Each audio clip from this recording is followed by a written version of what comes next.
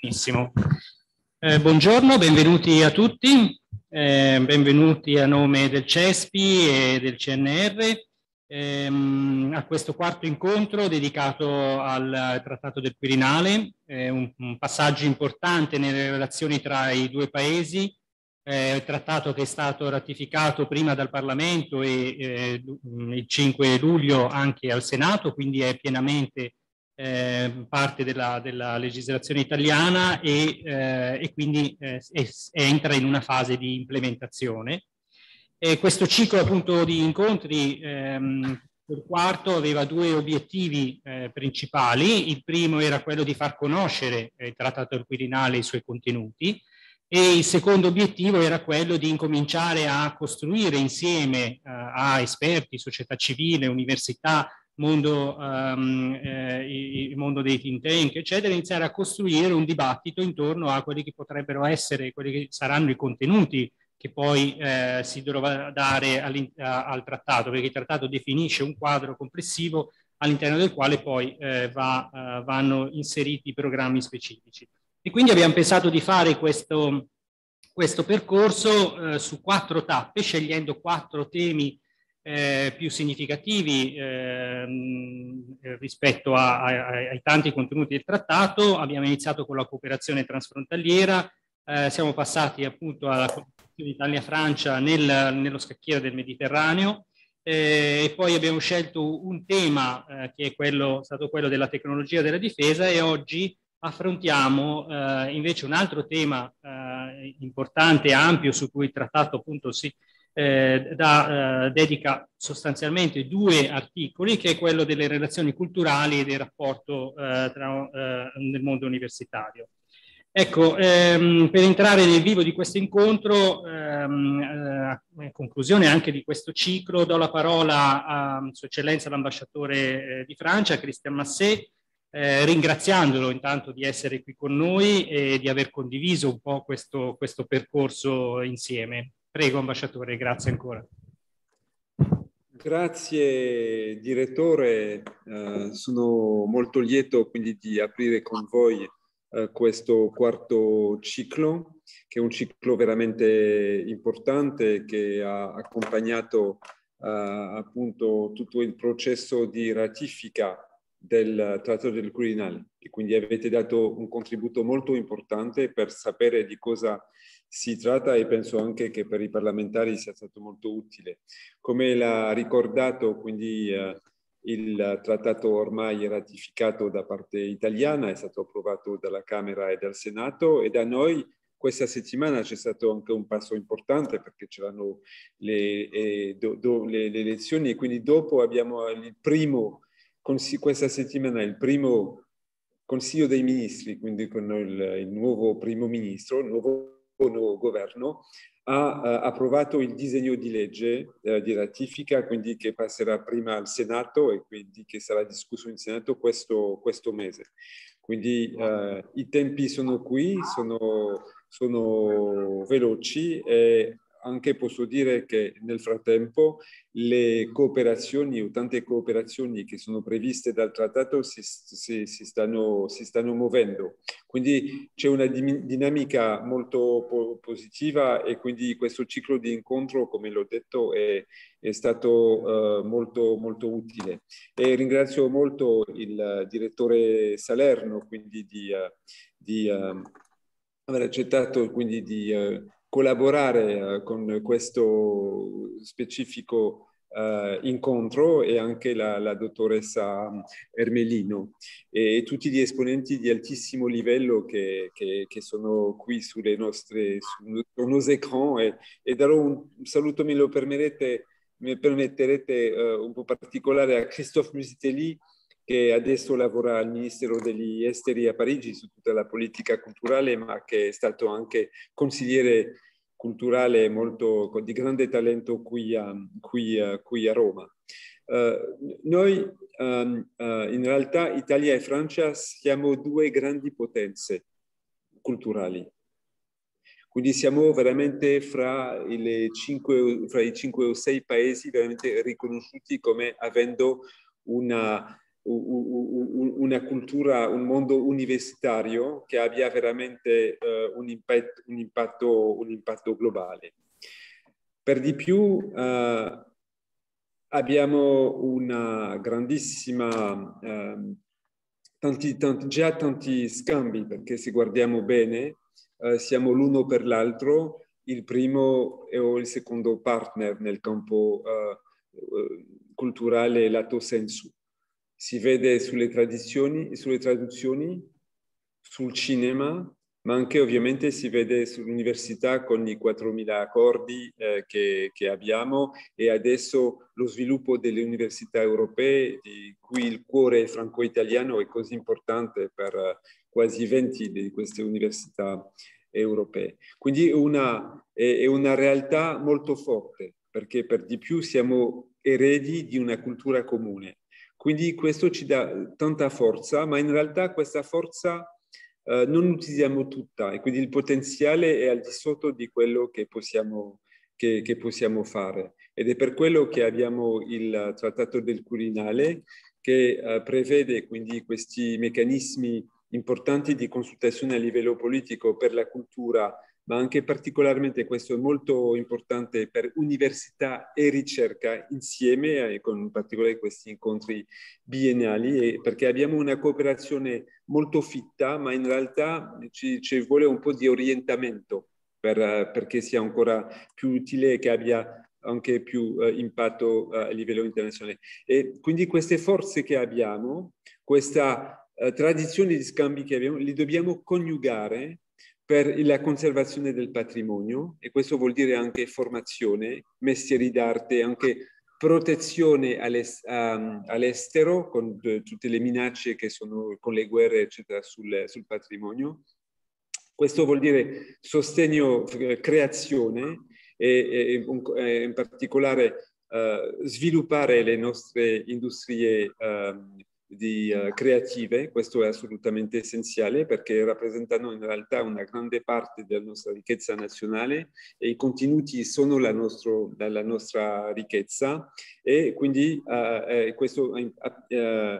particolarmente col mondo digitale dove c'è il rischio che il valore dei contenuti passi alle piattaforme e quindi è molto importante avere un quadro e, e, e Italia e Francia insieme, questo è sul diritto d'autore, eccetera, tanti altri temi, è molto importante che siamo veramente uniti perché ci sia a livello europeo, uh, europeo una, una, una, politica che, che difendi appunto le nostre culture e le nostre ricchezze uh, cul, um, culturali. Um, Altro, altro, tema ovviamente sono gli scambi, cioè veramente fare in modo che ci siano uh, più percorsi comuni italo-francesi, Italia, Francia, Europa. Questo è, è, una parte importante del Trattato del Quirinale che dobbiamo sviluppare. In questo momento stiamo avviando un uh, progetto esemplare che si chiama il Nuovo Grand Tour, che è la circolazione di giovani artisti, veramente meno di 30 anni, nelle residenze italiane e, e francesi e con uno scopo europeo. Uh, questo è un esempio, ma un esempio molto, molto importante. E eh, voglio dire che con il nuovo Grand Tour, con tutti i progetti che abbiamo in, uh, in vista, uh, Italia e Francia saranno veramente alla, all'avanguardia per quanto riguarda la cultura e tra questi, questo mi rivolgo a Massimo Brai, uno dei punti di appuntamenti molto importanti sarà la, il Salone del Libro a Parigi l'anno prossimo, eh, per il quale l'Italia sarà l'invité d'onore. Quindi è una stagione bellissima che abbiamo davanti se siamo capaci quindi di cogliere tutte le opportunità e quindi vi ringrazio molto di questo incontro che sono sicuro darà tante idee e tanta energia. Grazie. Grazie, grazie mille ambasciatore. Eh, come per il primo incontro, anche, anche oggi eh, abbiamo ehm, condiviso questa, questa, esperienza con il CNR, in particolar modo con eh, l'Istituto di Studi sui Sistemi Regionali, Federali e le Autonomie. Eh, quindi abbiamo aperto il ciclo e lo chiudiamo insieme. Eh, grazie mille e, mm, e, darei la parola um, al dottor Salerno, eh, direttore. Prego. Grazie eh, direttore, eh, ringrazio il CESPI per questa iniziativa, per la, la volontà di organizzare insieme eh, anche questo incontro. Eh, io qui rappresento un istituto del Consiglio nazionale delle ricerche e eh, devo, posso subito portare una testimonianza concreta dello stretto rapporto eh, tra la cultura italiana e quella francese è dimostrata proprio dal fatto che il mio ente di ricerca eh, sta avviando un uh, importante piano di riorganizzazione e di rilancio. Questo piano prevede un comitato strategico composto da cinque personalità per eh, seguire, guidare e indirizzare il rilancio del nostro Consiglio nazionale delle ricerche. Una di queste cinque persone è il presidente, il dottor Antoine Petit del eh, CNRS. Quindi questo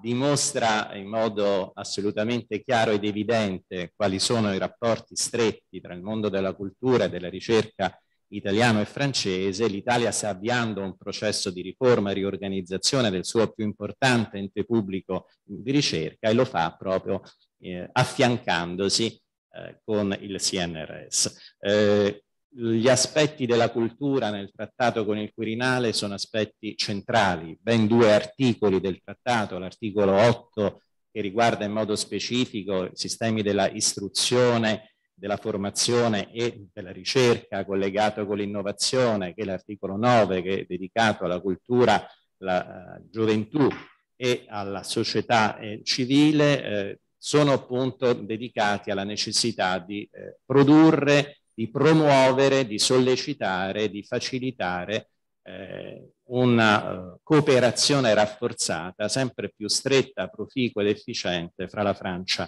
e l'Italia. Io voglio uh, soltanto segnalare eh, l'importanza di questo incontro per incominciare a ragionare su quali potrebbero essere i passi concreti. In questi articoli del trattato si parla appunto di non solo eh, facilitare, ma anche di dare un seguito operativo a questa attività di collaborazione sempre più stretta sul versante della cultura e che per esempio riguarda mh,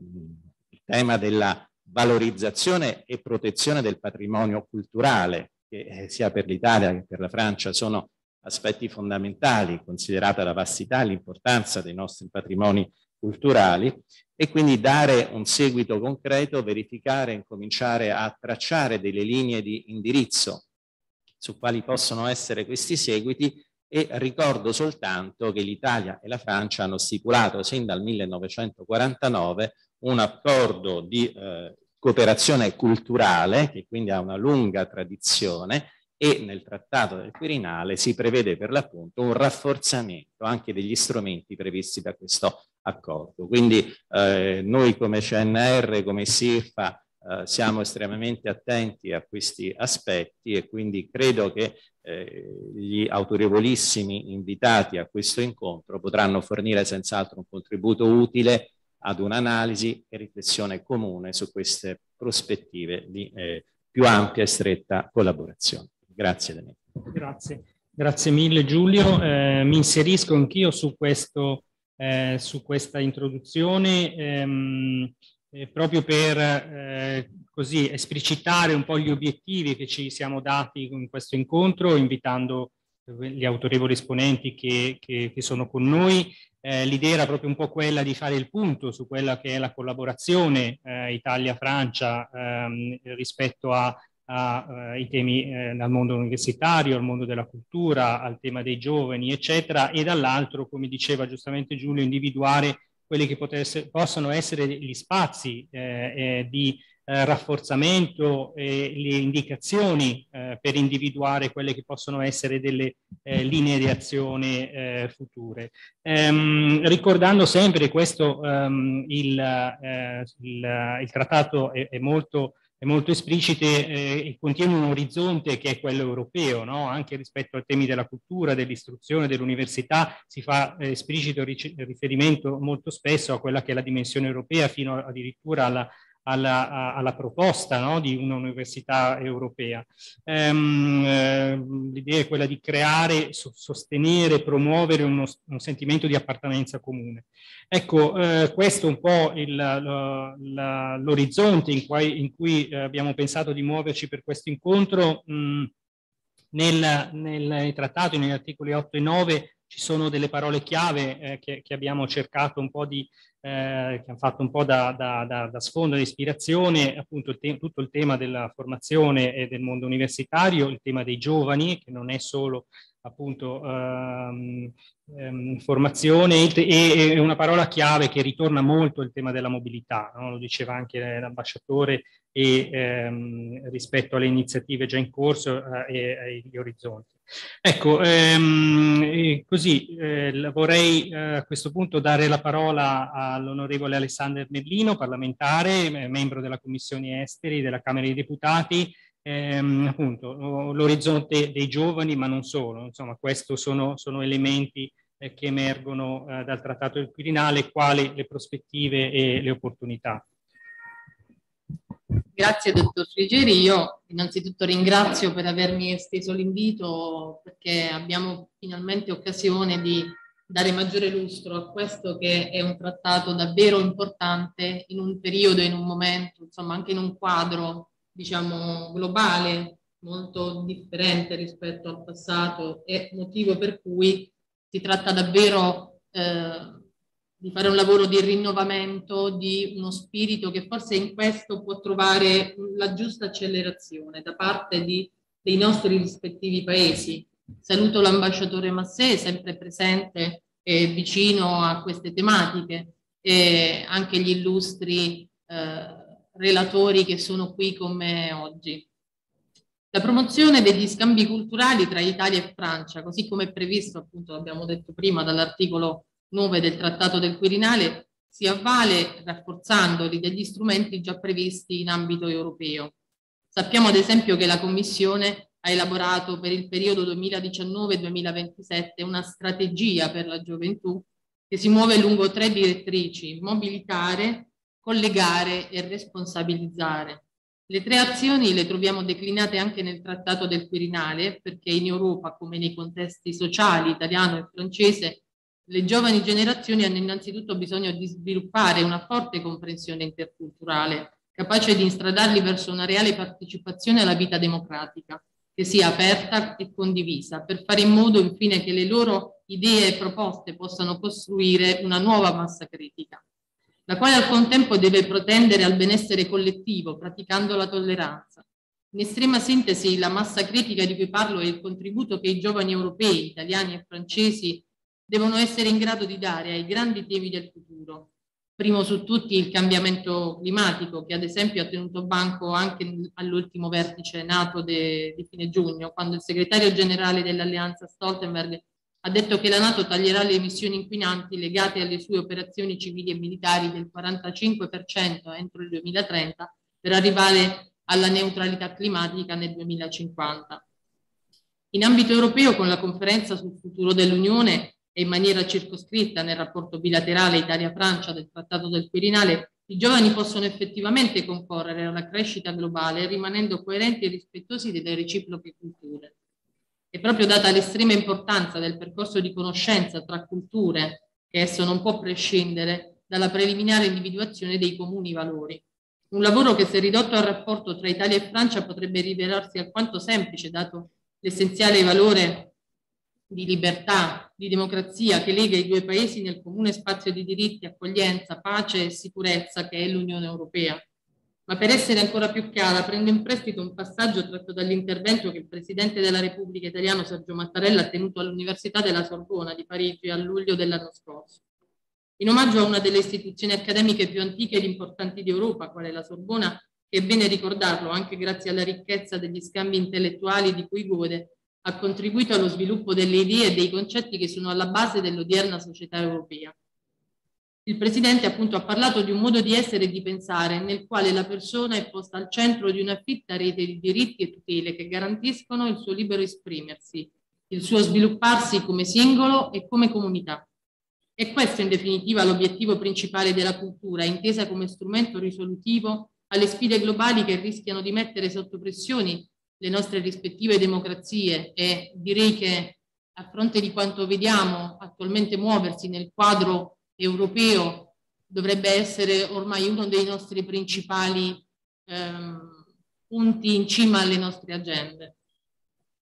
Visto che, come già stato detto, il Trattato del Quirinale è un progetto capace di trasmettere nuova energia all'interno del percorso europeo, dobbiamo continuare ad allenare la nostra consapevolezza collettiva tramite la promozione del dialogo, della connessione valoriale e culturale e infine dell'unità. Del resto, quello che stiamo costruendo in Europa, spinti dall'emergenza della guerra, è il frutto di una volontà comune che deve essere in grado sin da ora di indicare un progetto solidale di fiducia reciproca e anche di difesa. Ed ecco quindi che il tema della valorizzazione dei giovani e delle idee non, più, non può più porre resistenza all'influenza delle differenze culturali che si assottigliano sempre di più, anche grazie a iniziative come il servizio civile italo-francese, la ricerca e la formazione condivisa e la valorizzazione del patrimonio culturale immateriale e materiale. Su quest'ultimo punto si sono espressi ottimamente i ministri della cultura della regione euromediterranea che a giugno si sono riuniti a Napoli tra i, principi, tra i principi presenti nelle dichiarazioni finali si legge appunto la protezione e la valorizzazione dell'inestimabile cultura e patrimonio culturale materiale e immateriale della regione euro-mediterranea, da catastrofi, conflitti, crisi e cambiamenti climatici, costituiscono una sfida e un appello imperativo a cui dobbiamo rispondere insieme per il bene comune. La distruzione del patrimonio culturale ha un profondo impatto sulle società e sui loro individui e comunità interrompendo la trasmissione di conoscenza fra le generazioni e indebolendo le basi per la pace e il dialogo. Lo scambio culturale e la cooperazione in materia svolgono quindi un ruolo chiave sia per il mantenimento dell'assetto democratico e inclusivo delle nostre società, sia per il rafforzamento dei contesti territoriali in transizione. In conclusione, poi, con lo scopo di fornire qualche aggiornamento, ma lo ha già fatto il dottor Frigeri e lo ringrazio di questo, del trattato possiamo dire che appunto abbiamo vista la, la conclusione del percorso al Senato giusto un paio di giorni fa e sono in corso a livello amministrativo le consultazioni tra il nostro Ministero degli Esteri insieme alle altre amministrazioni pubbliche italiane e le controparti francesi per dare attuazione ai numerosi impegni di cooperazione bilaterale previsti appunto dall'accordo e dal programma di lavoro che dettano una, una vasta gamma di adempimenti, dall'organizzazione dei vertici intergovernativi alla creazione di un apposito comitato di cooperazione transfrontaliera. Adesso sarà proprio tempo di dare attuazione a questo, questo, agli accordi diciamo, che in cascata vengono da questo trattato, proprio con un processo che io ritengo che sia quello più efficace, quello di bottom up, partire dal basso, da eh, queste forme di collaborazione e di commissione, così come diversi sono, eh, sono le provenienze dei relatori presenti oggi a questo tavolo, così questa è la giusta strada da perseguire per essere veramente operativi e per eh, dare un degno testimone ai giovani che oggi si trovano di fronte ad un quadro eh, che sicuramente è incerto, è in fase di transizione, di cambiamento, e dobbiamo essere pronti ad accompagnarli in un percorso che li porterà verso un futuro diverso, ma che non può prescindere da quelli che abbiamo ribadito ancora una volta sono i nostri valori fondanti dei nostri rispettivi paesi e che ci uniscono, ci hanno unito nella storia e continueranno ad unirci anche nel futuro. Ringrazio ancora tutti i presenti e il direttore per tutto il CESPI per avermi invitata e ringrazio ancora. Grazie, grazie mille a lei di essere intervenuta, delle, delle parole che ha detto. Ehm, intanto eh, grazie per aver, eh, secondo me, eh, portato l'ambito delle relazioni culturali al centro della costruzione di una comunità dei suoi valori. E questo è un punto importante, no? spesso si dà molto, molta enfasi a quelli che sono i rapporti commerciali, eccetera, ma eh, in realtà ehm, questo accompagnare i giovani, ma accompagnare la società avviene appunto a, a, può avvenire solo all'interno di uno scambio culturale. E, e, e, e prendiamo appunto l'impegno e, continuiamo a dare la nostra disponibilità rispetto a questa a questo mh, dialogo eh, no, bottom up, cioè di questo eh, eh, dialogo eh, aperto nella definizione di quelli che poi saranno i contenuti operativi eh, del, e che crediamo sia, sia, importante e su cui siamo disponibili a dare il contributo. Eh, ora ehm, chiederei, darei la parola al dottor Christoph Musitelli, consigliere per la diplomazia culturale presso la Direzione Generale Globalizzazione della Cultura del Ministero degli Affari Esteri francese, ehm, e, e, a lui chiederei eh, essenzialmente eh, tre cose, eh, una, una, fotografia per quanto de, dello stato dell'arte dal, dal, dal, suo punto di vista, quelle che possono essere le, le, le, le piste più interessanti, no? eh, più eh, eh, interessanti in termini di rafforzamento di questa cooperazione e un terzo elemento rispetto a eh, questo che eh, nell'esperienza italiana è eh, abbastanza nuova, è, è stata eh, costituita solo eh, quest'anno questa direzione ehm, eh, generale per la diplomazia culturale, che è uno strumento invece molto importante in politica estera e che appunto dire, l'esperienza italiana è molto, eh, è ancora all'inizio da questo punto di vista, nonostante poi in realtà sia uno strumento poi utilizzato eh, concretamente nei fatti. Ehm, prego, dottor Musipelli. Grazie. Grazie, grazie direttore e un saluto a tutti. Sono molto felice di, di poter dialogare con voi oggi. Da, da due anni ormai sono tornato da Roma e dunque mi fa piacere ritrovarmi di nuovo virtualmente nella, in questa bellissima città. Sono stato, come, come ha ricordato l'ambasciatore consigliere culturale, dal, dal 2016 al 2020, periodo complicato, periodo politicamente eh,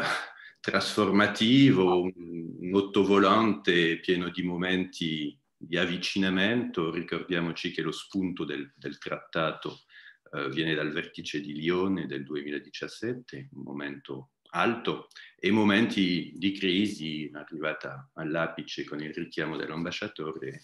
nel, nel febbraio du, 2019, poi è arrivata la crisi del Covid, dunque un momento molto sofferto ma che scaturisce oggi con un trattato splendido che, che, che, che sarà per noi un perno eh, della nostra cooperazione. Sono tornata al Ministero a Parigi da, da, da ormai due anni e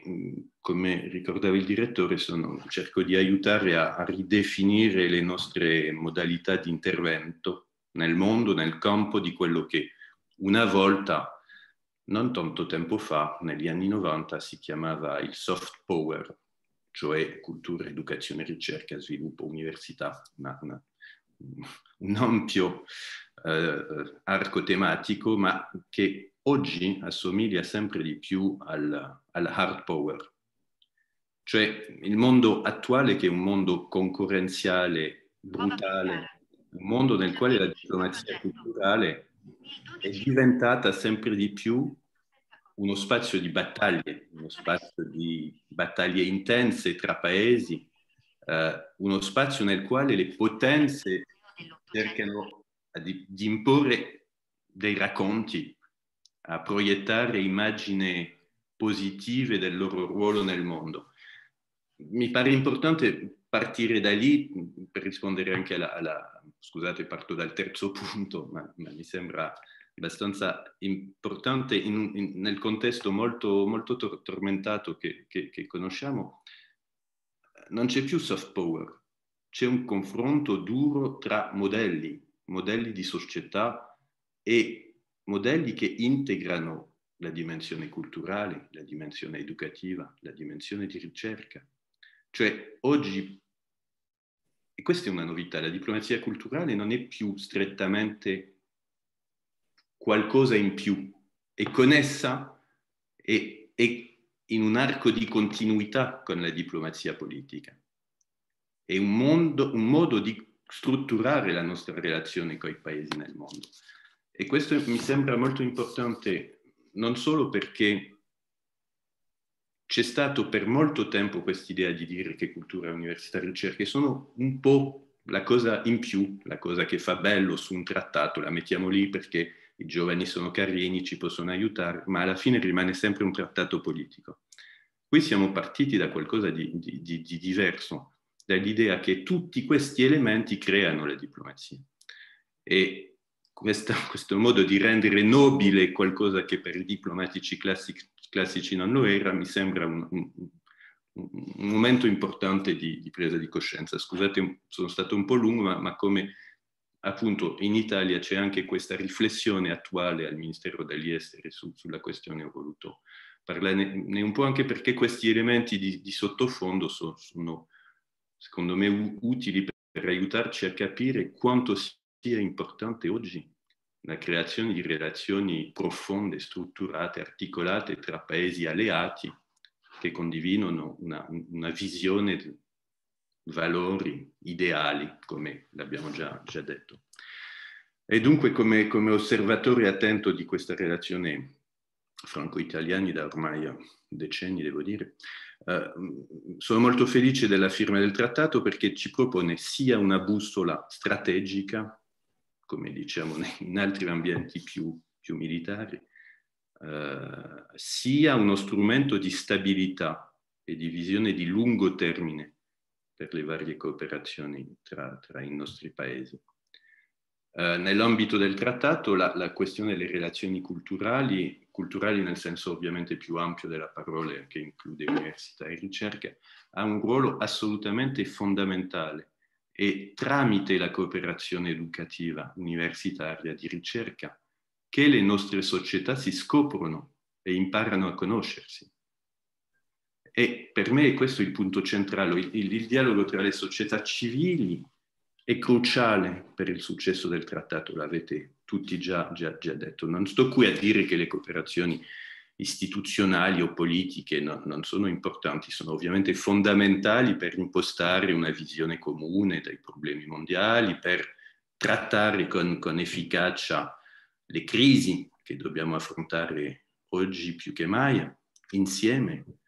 Ma voglio semplicemente insistere, come l'avete già fatto, su, sul fatto che la, la parte culturale del trattato è la finestra aperta sulle società e sul grande pubblico dei nostri paesi. Dobbiamo più che mai, e l'onorevole l'ha, ricordato, parlare ai cittadini, far, far capire i motivi che, che, hanno spinto due paesi già interdipendenti, come, come diceva l'ambasciatore, ad approfondire il loro legame. Perché l'abbiamo fatto? C'è una pedagogia da usare sia in Francia che in Italia e secondo me più in Francia che in Italia, per far capire l'uso di questo strumento e l'orizzonte europeo sul quale si costruisce e che è assolutamente fondamentale. Su, su questo suo scenario non semplice, eh, quali, quali, sono gli obiettivi che, che, che fissiamo al trattato? Cosa, cosa vogliamo compiere che non sia solo il seguito di quello che, che, già facciamo insieme e, come abbiamo detto, piuttosto bene. Uh, direi che ci sono due modi molto brevemente di, di, di usare il trattato per arricchire le, le, nostre relazioni. C'è una logica di rilancio e una logica di trasformazione. Sono ovviamente legate, uguali, sono per cercare di, di definire. Uh, sull'approfondimento e il rilancio di cui avete già, già parlato, Dobb- dobbiamo ricordare che questa relazione si è costruita nel tempo e non va oggi completamente reinventata, va completata, va approfondita, va rilanciata. Uno dei settori nel quale la, questo rilancio mi sembra più, più fondamentale oggi è la, è la questione de, dell'educazione del, e della lingua. Uh, l'insegnamento del francese in Italia rimane dinamico, siamo a 1 milione e 800 milioni di ragazzi e ragazze che, che, imparano il francese, molto meno, come sapete, francese che imparano l'italiano. Uh, abbiamo più di 300 licei che propongono l'ESABAC, in questa idea di strutturare sempre di più percorsi comuni, ma la concorrenza sia per l'italiano in Francia che per il francese in Italia è sempre più importante particolare con lo spagnolo, che vede una crescita del numero di studenti abbastanza impressionanti questi, questi ultimi dieci anni. E il francese nelle scuole italiane ha un problema di immagine, chiaramente un problema che possiamo poi definire, ma nel caso di farlo oggi, un insegnamento magari un po' tradizionale, un modo di non affrontare le problematiche del mondo contemporaneo, mentre potremmo benissimo fare. Dunque si fa sentire in molti paesi, si fa sentire specificamente in Italia e, e ovviamente in quest'ambito la firma del trattato può veramente rilanciare questo settore. Uh, e su un punto preciso che è la formazione degli insegnanti. Abbiamo qui il perno intorno al quale gira tutta la questione educativa che dobbiamo totalmente strutturare. Eh, ovviamente gli scambi tra i nostri paesi non si limitano alla lingua, ma le lingue, l'immersione nella lingua dell'altro dall'età più giovane è assolutamente cruciale per creare questo legame durevole che cerchiamo di, di creare e di approfondire oggi. Dunque abbiamo formato, per dare un'idea, 2200 insegnanti di francese in Italia l'anno scorso, dobbiamo fare meglio, dobbiamo fare di più e dobbiamo farlo in un contesto in cui dai, dai due lati andiamo, andiamo avanti con, con, una nuova ambizione. Un altro campo educativo, non direttamente legato, legato alle lingue, ma totalmente fondamentale, col quale il trattato fissa obiettivi e ambizioni, la cooperazione tra istituti di formazione professionale. Anche qui eh, è, è, un campo assolutamente cruciale eh, dall'osservazione che facciamo da, da, da, vari anni sulle cooperazioni locali tra istituti tecnico-superiori e campus des métiers in Francia, abbiamo capito che c'era un profondo desiderio di collaborazione per costruire centri di, di eccellenza professionale franco-italiani in settori specifici. Pensiamo a, ai sistemi intelligenti, alla biotecnologia, al settore automobile tra Lombardia e, e Auvergne. Cioè ci sono molte niche specifiche di collaborazioni po- possibili che dobbiamo adesso approfondire, strutturare meglio e il trattato ci dà quest- questa possibilità. L'ultimo punto sulla questione piuttosto di rilancio che di trasformazione è, è la questione ovviamente universitaria. Uh, la, la, dinamica bilaterale è, è, è, sempre attiva, non ha sofferto più di tanto dalla crisi dal, a livello delle mobilità di studenti. Studenti italiani sono sempre attratti da università francesi, studenti francesi anche vengono in Italia, ancora di meno, ma sempre di più. E anche lì su, su, su percorsi specifici. Contiamo quest'anno 16.500 italiani uh, in Francia, un numero importante che possiamo anche capire legandolo al, al, al Brexit e a, a, forse un'attrazione minore della Cina, o di, diciamo un, una, una, ricomposizione verso l'Europa degli studenti. Dobbiamo ovviamente approfittare del, del trattato per approfondire questa dinamica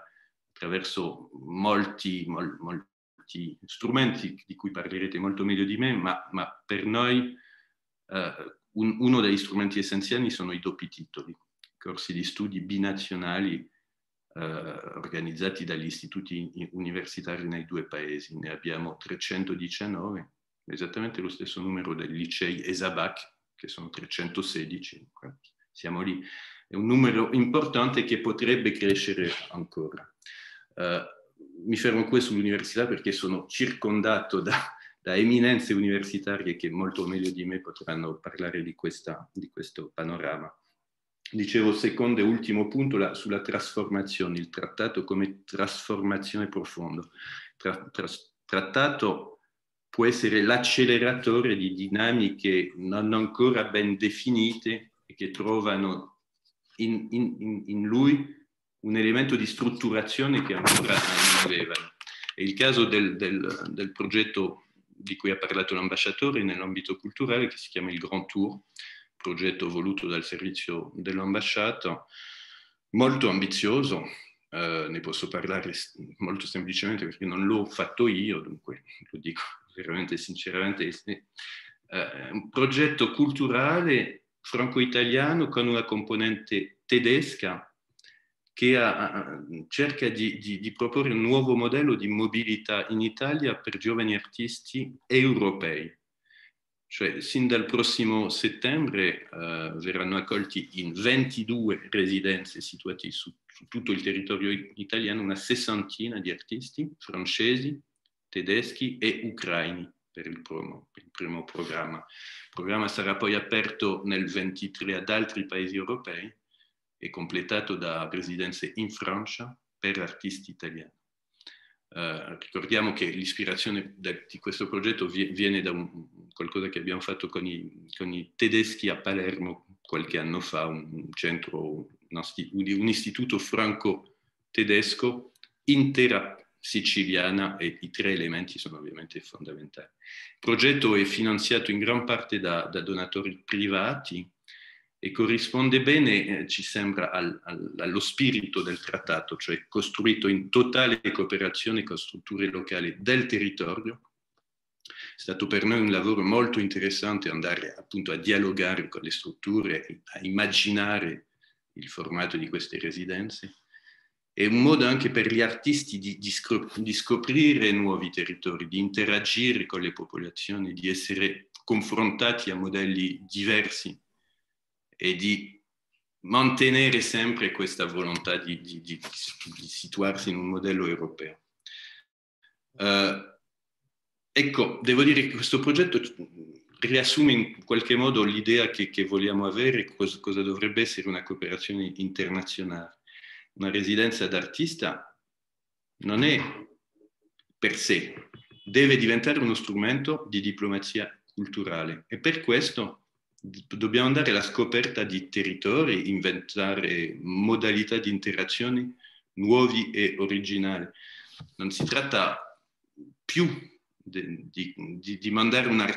in, un artista in uno spazio per isolarlo dal mondo, farlo creare e poi torna a casa. No, lo, lo vogliamo confrontare con un mondo inaspettato e immergerlo in una situazione particolare. Non funziona sempre, devo dire, alcuni artisti non sono aperti a questo tipo di scoperte, ma ecco, è quello che abbiamo voluto sperimentare e che l'abbiamo anche sperimentato negli Stati Uniti con la, con la Villa Albertini, il nuovo nome del nostro servizio culturale. Uh, dunque, trasformazione, rilancio, mi fermo qua perché sono già stato abbastanza lungo. Uh, dico solo un'ultima cosa, ne avete parlato tutti. Eh, c'è un elemento fondamentale del trattato ho, al quale non ho, potuto, non ho avuto tempo di, di, di, parlare adesso, che è la questione del patrimonio, che, che, è fondamentale, ovviamente è una priorità strategica sia per la Francia che l'Italia, con una cooperazione molto, molto ambiziosa e siamo stati molto fortunati di avere in Italia un ministro della cultura durevole, molto più dei nostri, e particolarmente investito in questo campo, dunque è un elemento che accenno così au passage, ma che dovremo approfondire. Vi ringrazio molto e scusate per essere stato un po' lungo.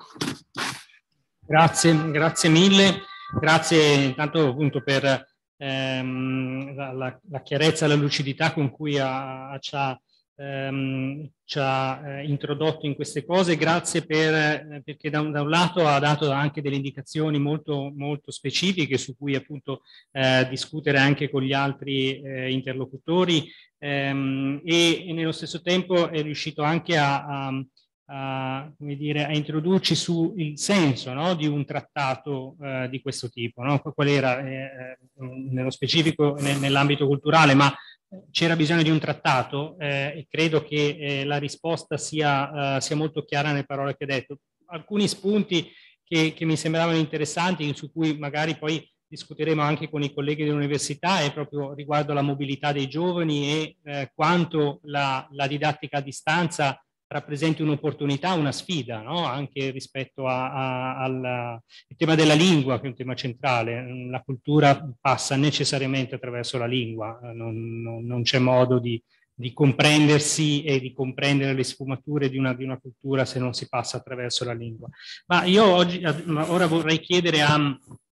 dottor Massimo Brai, eh, direttore dell'Istituto dell'Enciclopedia Italiana, ex ministro ehm, della cultura, ehm, ex eh, eh, responsabile del Salone del Libro, ha quindi un, un bagaglio di esperienza e di ehm, eh, eh, enorme e per cui vorrei chiedere a lui eh, un intervento anche più in generale su quella che è uh, l'industria della cultura, anche no? uh, rispetto a, a, a, agli scambi e alle opportunità che si aprono attraverso il, uh, il Trattato del Quirinale. E grazie di essere con noi. Eh, grazie Daniele, grazie a tutti. Eh, approfitto anch'io per ringraziare l'ambasciatore Massè. Saluto con piacere Cristoforo Musitelli che ho avuto il piacere di incontrare nel suo periodo di soggiorno a Roma. Io credo che sia importante proprio quello che Cristoforo Musitelli ci ha detto rispetto al perché se ci, se ci fosse bisogno di un nuovo trattato. E mi soffermerei su, eh, anche per essere insomma, il più chiaro possibile, su quelli che sono i momenti storici dei rapporti culturali tra i nostri paesi, su quelli che sono stati e sono i luoghi di questi accordi e anche sulle persone che secondo me hanno avuto una centralità per capire anche come si possa interpretare nel miglior modo possibile questo accordo. È stato citato l'accordo del 1949, per l'esattezza 4 novembre 1949. Era un accordo che fu firmato dal ministro degli esteri italiani, italiano Carlo Sforza e dal ministro degli esteri francese Robert Schuman. Conteneva 12 articoli e una premessa che molto breve che traduco. Eh, l'obiettivo era di rendere ancora più strette le relazioni letterarie, artistiche, scientifiche, accademiche che da tanti secoli esistono fra i nostri popoli, animati dal desiderio di proseguire in tale campo l'opera di ravvicinamento politico fra Italia e Francia. Quindi si assegnava proprio alla cultura, come dire, questa sorta di, di, di primo momento rispetto alle relazioni politiche. Poi arriviamo a un accordo secondo me da non trascurare, quello del 9 aprile del 56, il gemellaggio tra Parigi e Roma, viene spesso dimenticato, ma quell'accordo fu pieno di, di buone premesse, di buoni significati e lo dico di passaggio perché a questo accordo si rifà moltissime volte un grande presidente della Repubblica francese che è François Mitterrand e del suo ministro della cultura Jack Lang, ogni volta che deve applicare alcune scelte di relazioni culturali tra Italia e Francia. Cito poi eh, questa iniziativa comune del 2013 fatta tra il governo francese e il governo italiano, capofila nel definire quella che fosse in Europa l'eccezione culturale. Lo dico perché è un momento che spesso abbiamo trascurato di fronte a Bruxelles avevamo un trattato di enorme importanza per gli Stati Uniti e per anche l'Europa, era il TTIP, il grande trattato commerciale, con la proposta americana di far rientrare gli ambiti, anche qui cito, culturali all'interno di un trattato commerciale. Eh, le firme della ministra francese Filippetti e del governo italiano furono i capofila di quella che invece venne approvata come l'eccezione culturale. Eh, lo dico perché mi chiedo che sarebbe successo se si fosse ceduto a questa scelta e invece ancora una volta credo che la storia eh, nostri, delle relazioni tra i nostri paesi non a caso portano a quella che fu una scelta molto forte. Nelle due relazioni dei rispettivi governi, eh, uno dei punti nodali di quella scelta fu il Trattato di Lisbona, ancora una volta una data, 2007, e la citazione sottoscritta da tutti i paesi dell'Europea europei sulla tutela della ricchezza culturale e linguistica. Mi sembra che a questo giustamente sia rifatto l'ambasciatore nel suo discorso iniziale di questa giornata. E ultimo appunto arriviamo al trattato del Quirinale. Eh, sono stati richiamati l'articolo 8, che è quello insomma su formazione, scuola, eh, ricerca, e l'articolo 9 sulla cultura. Forse è importante anche una parte dell'articolo 5, che è quello appunto sul confronto col mondo digitale, perché credo che sia molto difficile,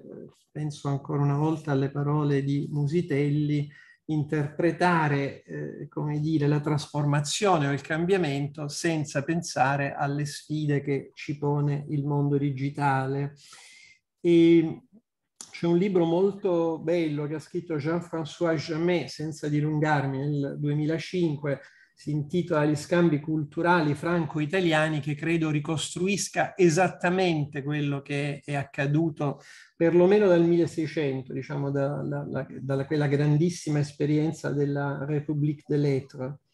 e che vedono la nascita a Roma di un, di un luogo, era il terzo tema appunto che volevo sottolineare, i luoghi di importanza in queste relazioni che è Villa Medici, eh, che ospita l'Académie de France dal 1666.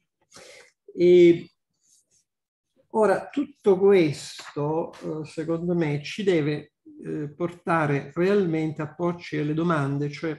quali sono le forme migliori in cui possiamo interpretare oggi nel ventunesimo secolo questo trattato e queste relazioni. È stato detto della lingua e questa è sicuramente una grandissima sfida. C'è un tema, come eh, è stato anche qui già anticipato, di, di tutela della lingua, come in genere dei beni culturali,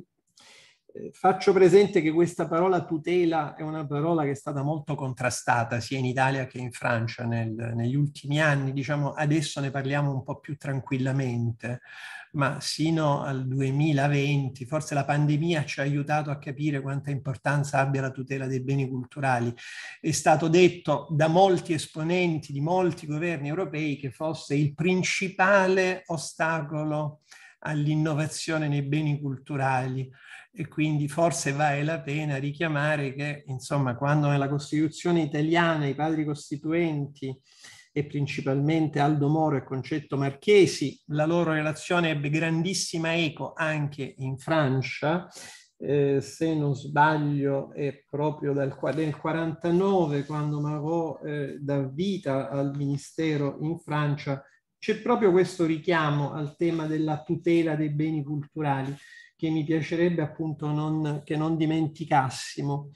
E dicevo la lingua al centro. Qui c'è da fare moltissimo, voglio dire, io non credo che sia solo un problema di difesa della lingua italiana o della lingua francese. Eh, come sapete, da un secolo circa Treccani lavora, a differenza di altre grandi istituzioni che tutelano la lingua storica, lavora per scelta di questo suo fondatore, di questo filosofo che era Giovanni Gentile, su quella che lui chiama la lingua nuova, la lingua che cambia, la lingua che si confronta con i grandi cambiamenti che ci sono nella società. Ora questo dal nostro punto di vista, dall'osservatorio che abbiamo, che è un osservatorio diciamo fisico, editoriale, ma anche un laboratorio digitale, eh, io ripeto perché mm, magari non lo diciamo abbastanza, che il mondo digitale Treccani tocca circa 1.200.000 utenti unici al giorno tra il portale Treccani, il portale scuola e i suoi social. Quindi una platea enorme, sono tutti ragazzi tra i 18 e i 34 anni, sono più donne che uomini. Il tema della lingua è sicuramente il tema di principale attenzione e all'interno della lingua ci sono le nuove forme della lingua Ultimamente abbiamo fatto questo lavoro, credo, veramente importante, per esempio sulle parole che vengono da questa espressione della musica rapper, che rinvia tutto questo tema dei nuovi italiani e che porta alla luce, come dire, da una parte un rifiuto di una lingua che secondo, dal loro punto di vista e secondo me giustamente rifiuta, come dire, definizioni che oggi significano poco nel ventunesimo secolo, e dall'altra ci invita invece a guardare l'Europa, come loro ci chiedono di fare, come realmente qualcosa che si debba fondare sui valori della lingua e dalla lingua il passaggio alla cultura. E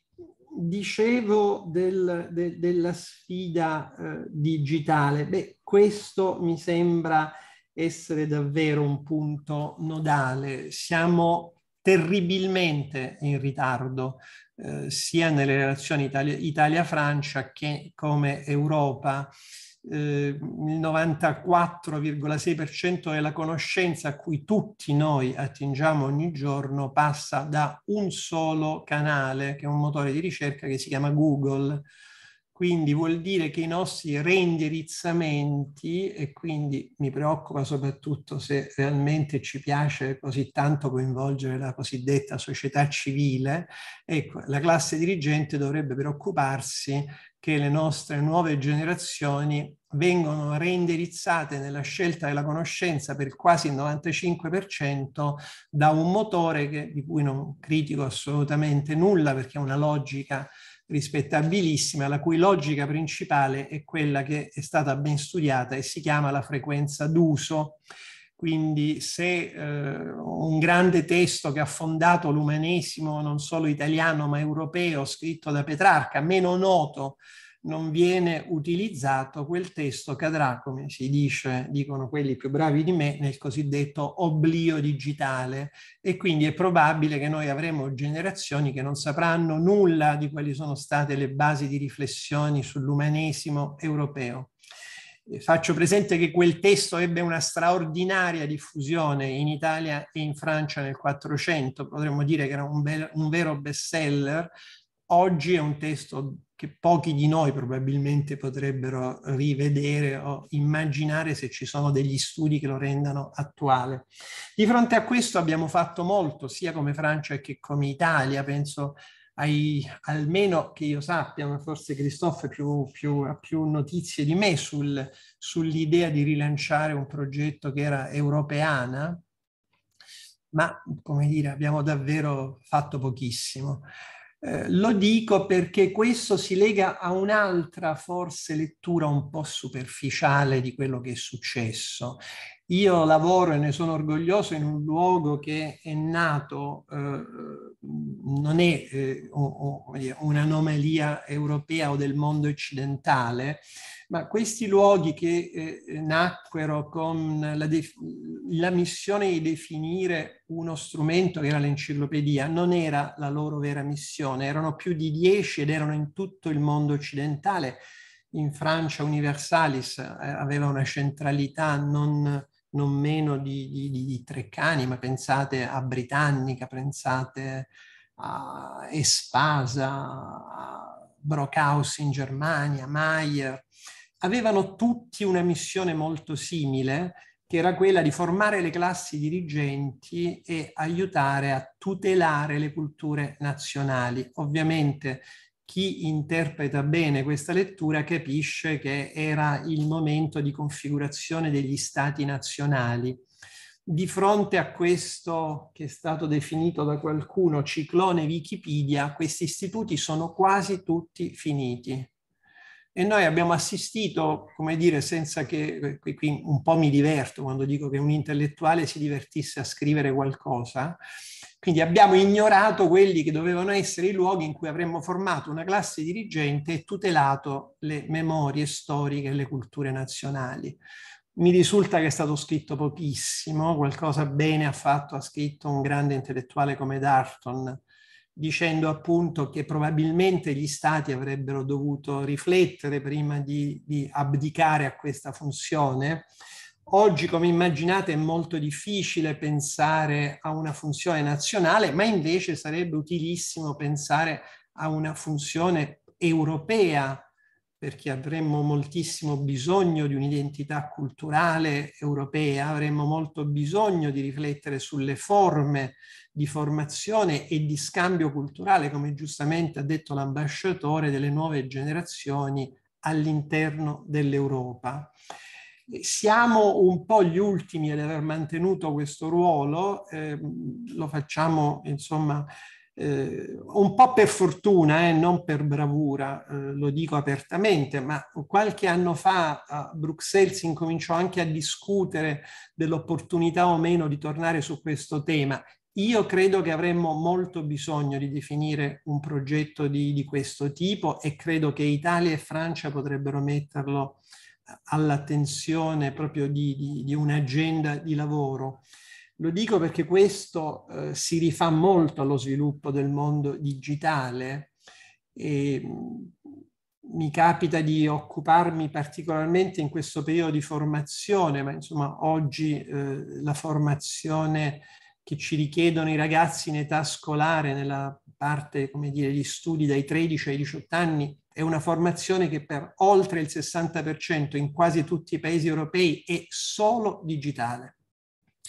E quindi anche qui dovremmo porci un tema dove attingeremo ai contenuti da mettere a disposizione. Scusate se sono un po' severo su questo, ma in tutta Europa adesso ci siamo un po' svegliati, abbiamo incominciato a parlare di privacy, adesso incominciamo a parlare di contenuti, ma lo dico anche a chi rappresenta le istituzioni in questo nostro incontro, sino a pochi anni fa abbiamo riconosciuto quelle piattaforme che traducendo come sempre dall'inglese definivamo strumentali, cioè non ci interessava per niente che avessero dei contenuti all'interno, ma che avessero soltanto degli ottimi strumenti da mettere a disposizione delle scuole. Io sono un po' imbarazzato a dirlo, però purtroppo è accaduto questo e quindi noi lasciavamo che fossero gli studenti, le studentesse, le professoresse e i professori a cercare, cito testualmente, nella libera rete quei contenuti sui quali costruire i loro, termine terribile, pacchetti di formazione. Ecco, questa è stata l'Europa e il mio paese. Oggi ci siamo un po' svegliati, stiamo capendo che dobbiamo mettere al centro il contenuto perché altrimenti vorrei che nessuno parlasse più di fake news.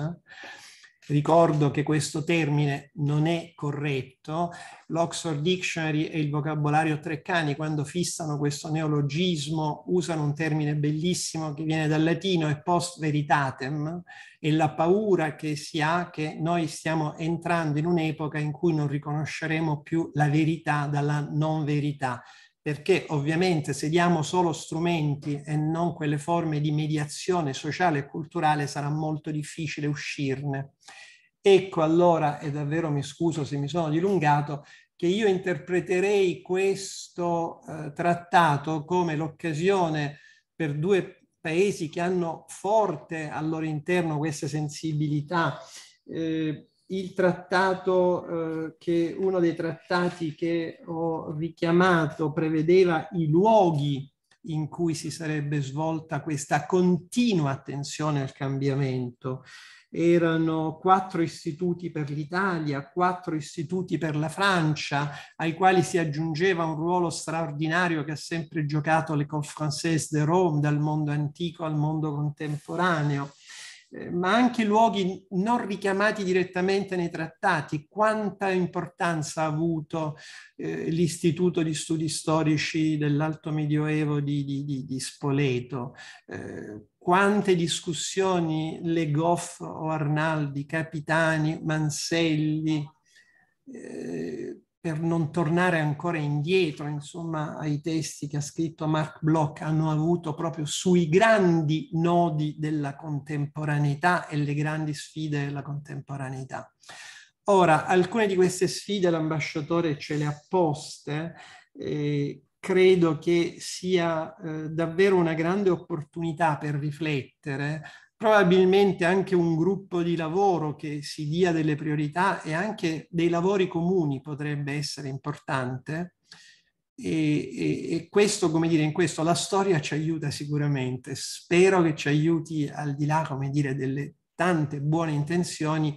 anche un vero calendario di impegni che potrebbe aiutare a almeno affrontare e orientare eh, tutti noi, ma soprattutto i più giovani di noi, verso queste scelte. Grazie.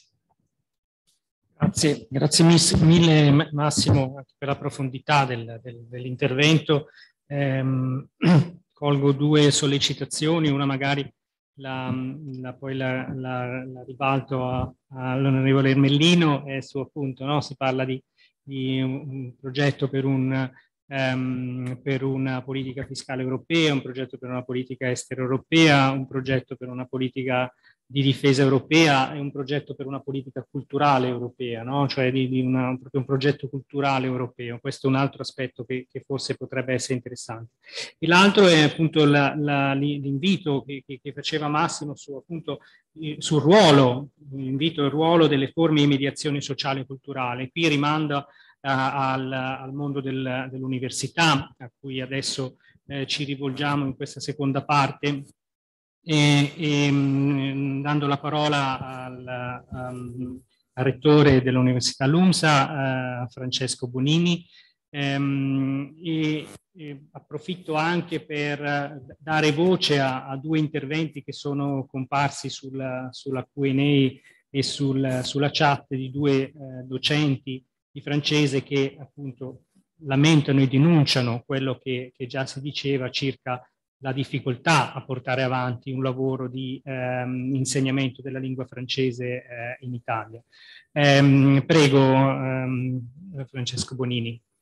Eh, grazie, ringrazio molto, del, ringrazio molto, dell'invito e anche della eh, disponibilità che eh, il CESPI ha dato per poi proseguire questo, eh, questo lavoro di confronto e di, eh, e di progettazione. naturalmente ehm, sottoscrivo, eh, direi integralmente, gli interventi precedenti e quindi io volevo semplicemente dire quattro cose con una premessa che eh, riprende parte del dibattito, a partire dalla questione della lingua. Giustamente una delle colleghe eh, intervenute eh, dice che ormai la falcidia delle cattedre eh, di francese eh, dalla scuola superiore arriva all'università. Noi abbiamo nei nostri ranghi una eh, importantissima francesista, la professoressa Papasogli, e la sua cattedra sarà presa da una docente di eh, lingua e letteratura inglese, proprio appunto per, eh, pur mantenendo noi una cattedra di francese, proprio per questo, per questo motivo. Quindi c'è un tema importante sulla lingua che è legato anche allo status del francese come lingua veicolare dell'Unione Europea, che è uno status ormai semplicemente, credo, consegnato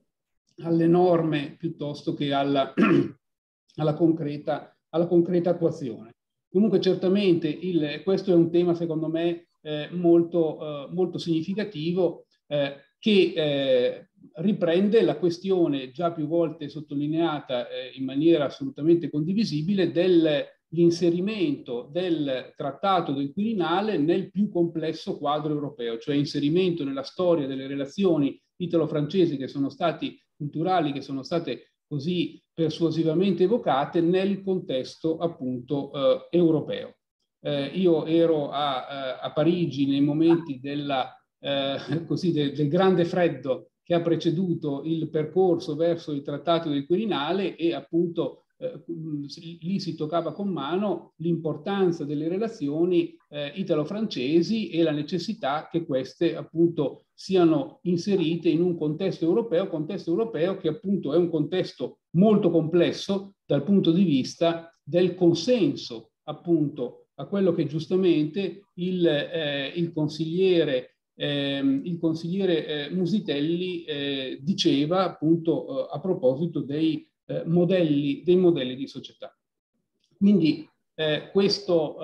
questi temi, cioè il tema della, eh, dell'Unione Europea nella sua pluralità linguistica e delle relazioni italo-francesi culturali che stanno dentro questa definizione del, del quadro europeo sono, direi, strategiche e meritano in qualche modo di essere anche messe a tema. Per quanto attiene più specificamente appunto le questioni che possono essere di pertinenza delle università, eh, io ne ho identificate quattro molto brevemente e semplicemente per, eh, per temi. Il primo è eh, l'Università italo-francese già eh, citata nel trattato e queste eh, reti di università europee, che sono sicuramente dei eh, contenitori eh, importanti eh, che vanno resi appunto più funzionali. Il tema delle università europee non è appunto di,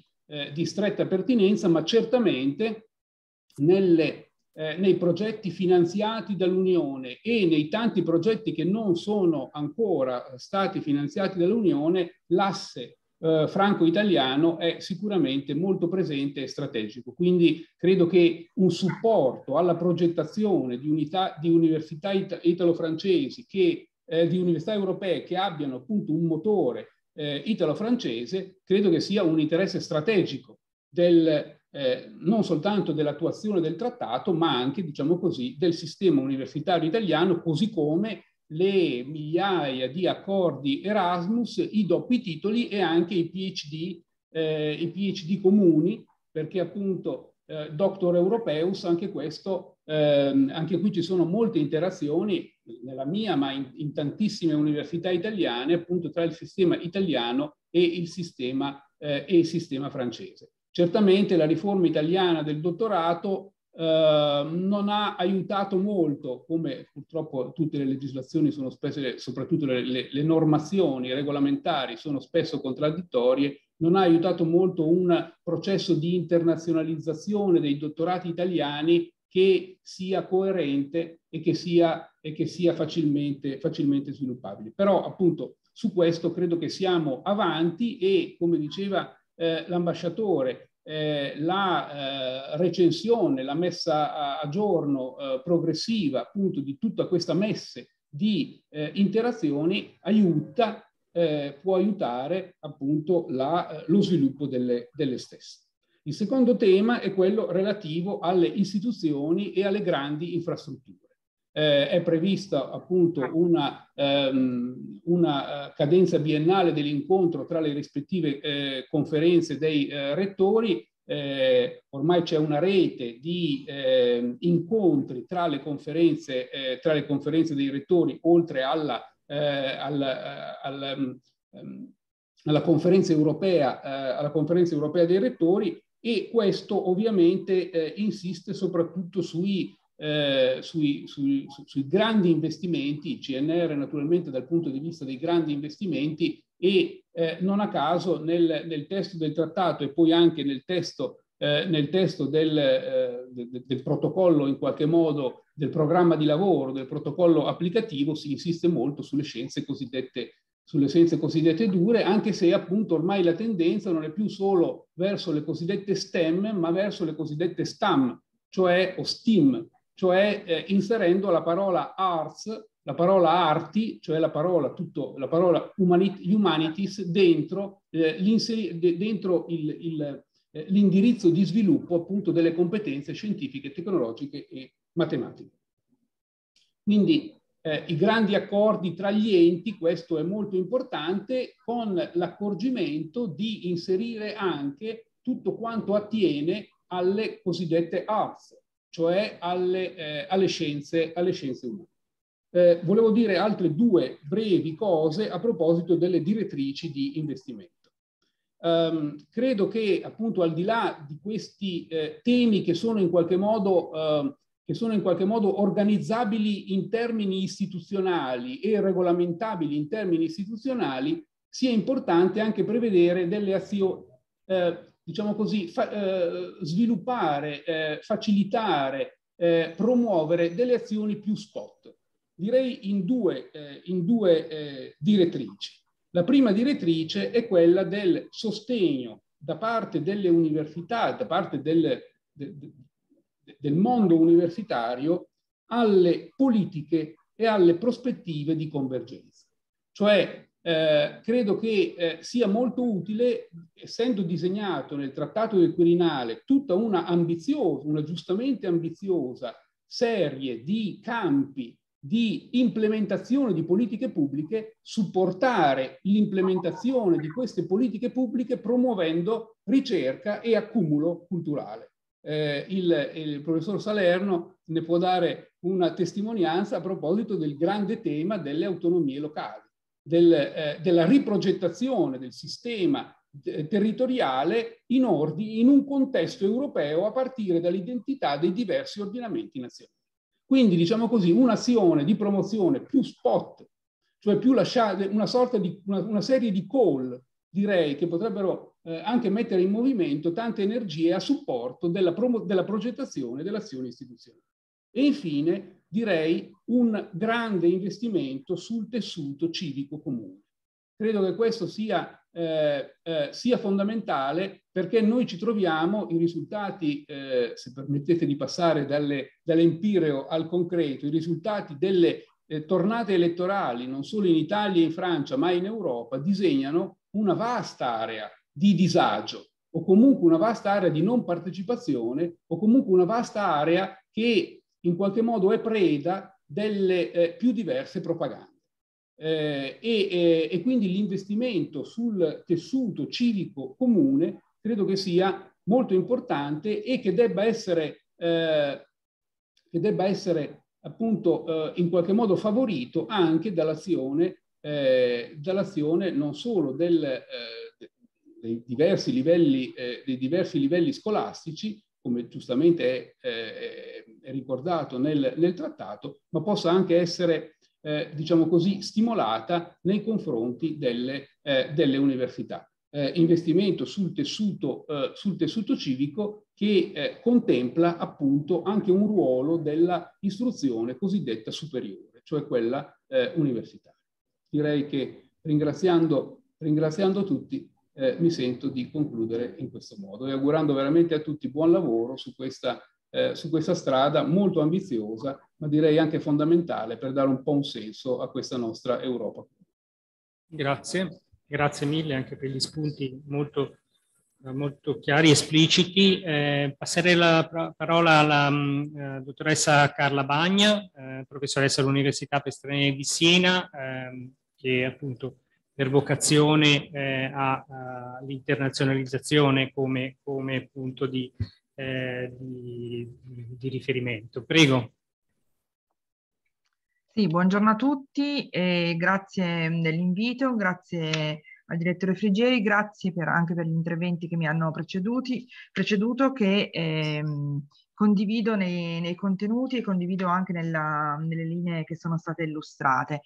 Eh, parto, da, eh, pa eh, parto, da, una riflessione che deriva dalla, dagli ultimi quattro giorni per, nel quale uh, a Siena abbiamo organizzato una summer school di language policy e, lang e, e, language planning perché mi sembra che le tematiche ehm, sollecitate dal trattato si inseriscono appunto in una più ampia questione delle politiche anche linguistiche, delle politiche di pianificazione di azioni eh, rivolte appunto oh, a medio e lungo termine ehm, nelle relazioni tra l'Italia e la Francia. E ehm, alcune degli, delle parole chiave che mh,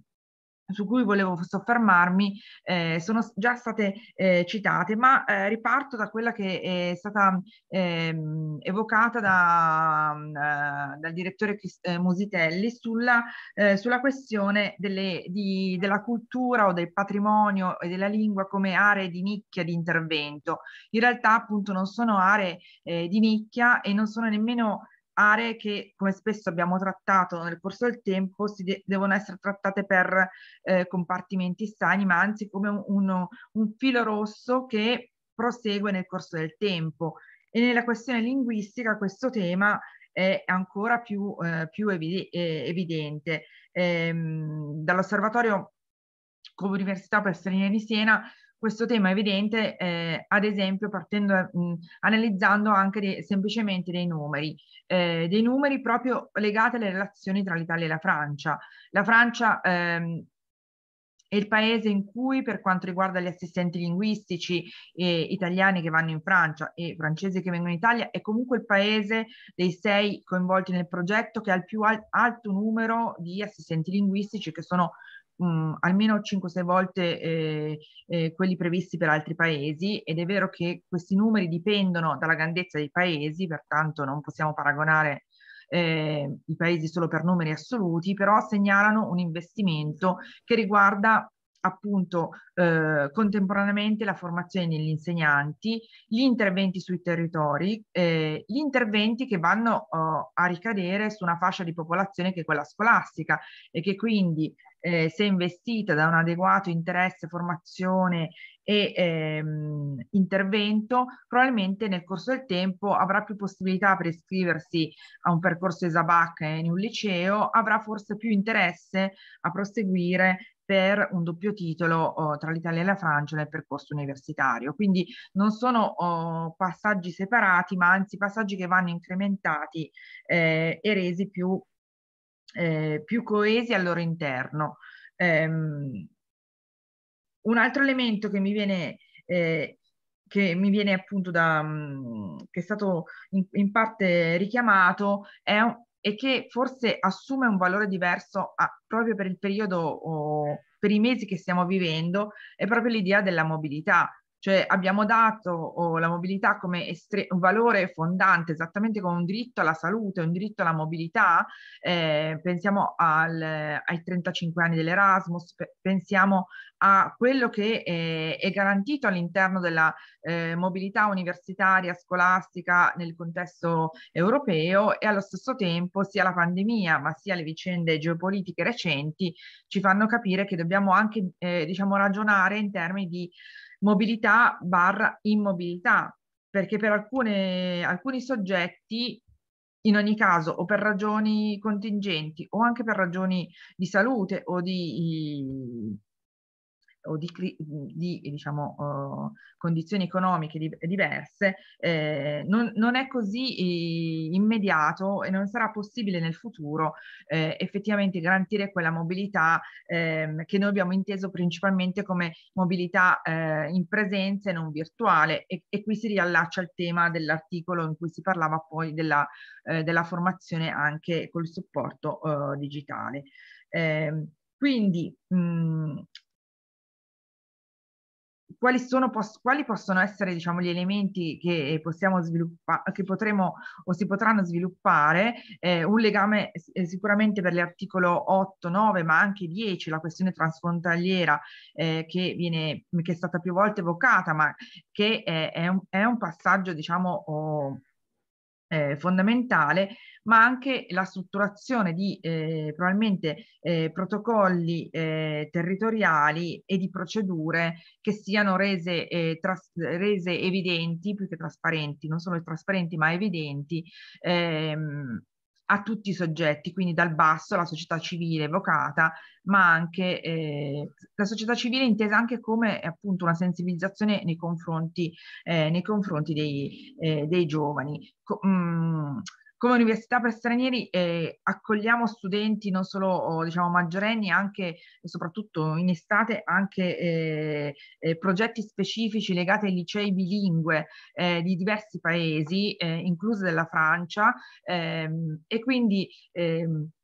illega- cioè, richiamare costantemente elementi del Made in Italy, del, ma, ma, ma, anche delle arti, della musica, delle le residenze, eh, le residenze artistiche, ehm, richiamarli in un discorso più ampio che non è legato a, ai gestori di quel tipo, di quello specifico progetto o a chi lo promuove, ma eh, a chi ne beneficia territorialmente sì, nei rispettivi, nei rispettivi eh, paesi. Io credo, mi fermo qui e vi ringrazio ancora per questa opportunità.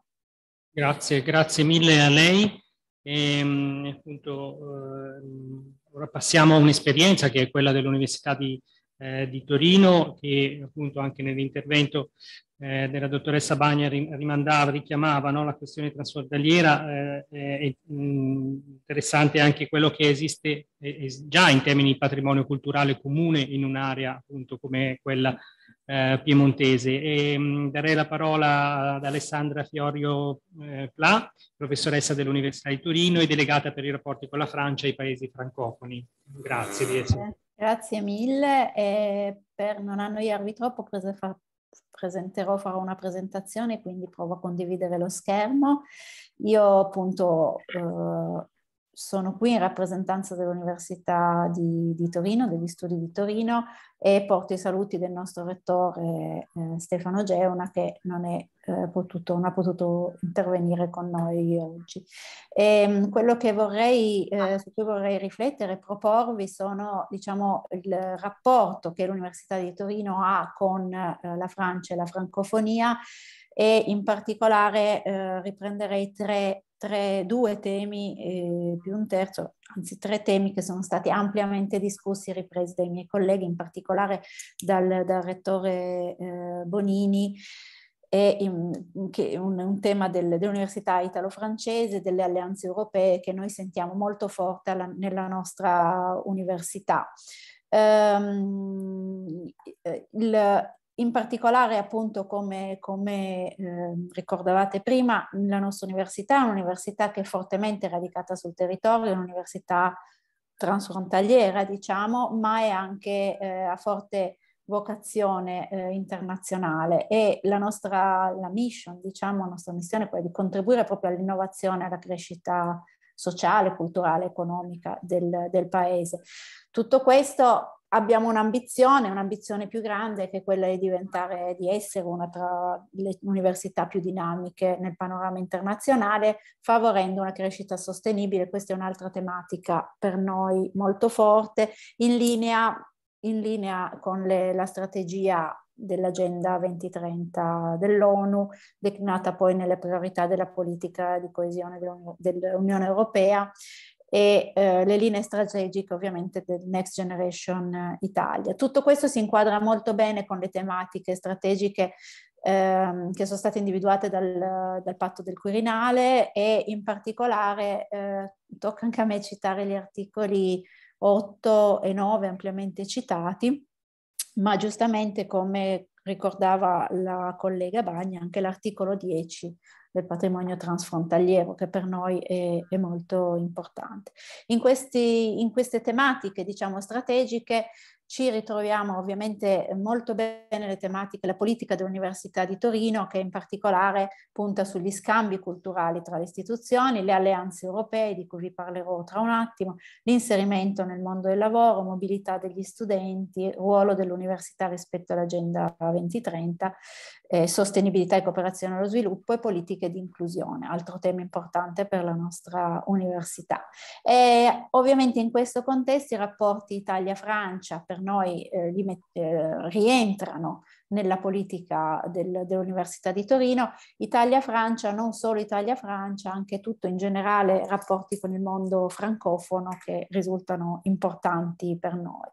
Uh, velocissimamente, visto che abbiamo parlato di cifre, mi sembrava importante ricordarlo in quanto, in quanto uh, anche uh, è stato ricordato come sia importante puntare sul, sui doppi titoli, doppi titoli di corsi di laurea, noi ne abbiamo diciamo il primo, eh,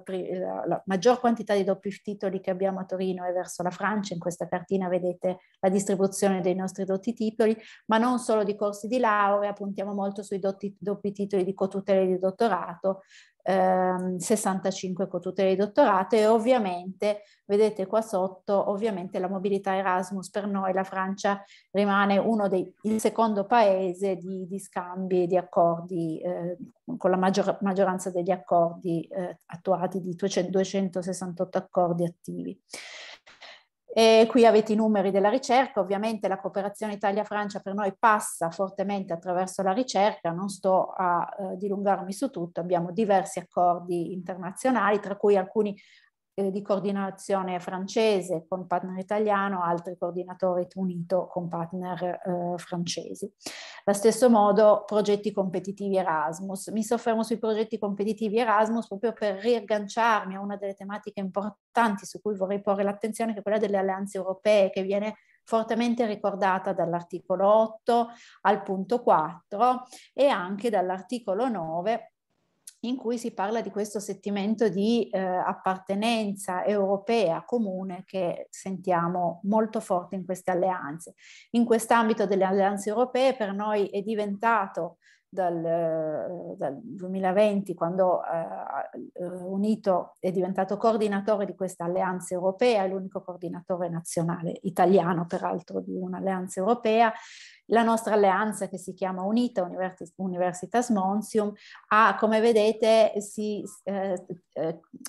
traccia una traiettoria che è una traiettoria lineare su, su territori transfrontalieri e vedete che eh, le università francesi coinvolte, soprattutto Chambéry e Torino, sono proprio in questi territori transfrontalieri per noi molto importanti. Altrettanto importante la seconda università francese che è Po, eh, Paris de l'Andour, eh, che traccia questa, questa linea con eh, il territorio transfrontaliero di Saragozza, di Spagnolo. E quindi il, la tematica della, della nostra università eh, europea è proprio quella di eh, promozione una, un, diciamo, regioni che sono accomunate dall'utilizzo di queste lingue romanze, quindi uh, puntiamo molto al plurilinguismo, a promozione dell'inclusività e allo sviluppo de, proprio delle regioni nelle zone montane transfrontalieri eh, su cui appunto la nostra università si pone proprio al centro anche dal punto di vista diciamo geografico. E, mh, la nostra la, proposta che è quella di tutte le delle università europee, quella di, ave, di proporre un'università europea aperta sviluppando modelli innovativi e, ehm, e, quindi questa è diciamo una, uh, una, linea comune tra le diverse unità, uh, università, alleanze europee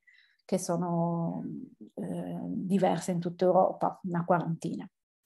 E questi sono ovviamente il fatto di avere una, una università, un'alleanza europea permette poi di attrarre finanziamenti e stabilire finanziamenti dalla comunità europea. Il secondo punto che mi sembra molto importante perché mi sembra anche importante sulla tematica di attuazione degli accordi e porre l'attenzione sull'università italo-francese. L'università italo-francese è un'istituzione che è stata, che è stata istituita con un, un accordo intergovernativo eh, firmato a Firenze nel 98 e ehm, da parte italiana è poi diventato, è stato approvato dal Parlamento nel, nel 2000, ratificato dal Presidente della Repubblica e noi la sentiamo molto forte perché il, il nostro rettore ehm, Stefano Geuna è vicepresidente dell'Università Italo-Francese che ha sede per la parte italiana all'Università di, di Torino. Ospitiamo, ospitiamo, la sede italiana, la sede francese è eh, a Grenoble.